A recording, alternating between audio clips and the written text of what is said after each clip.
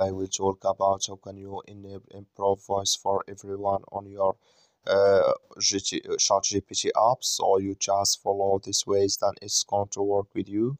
So all you have to do, so you just go here, you go above this sign, click on it here.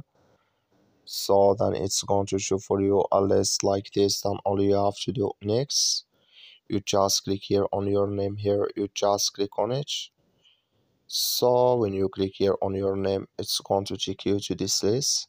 It's going to show for you like this. Then you click here on data controls.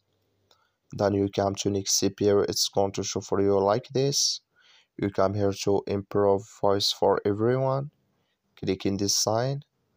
Like you see this color show for us. As mean improve voice for everyone enable with us now so that's all you have to do. I wish know you i get it that's all. Thank you for watching.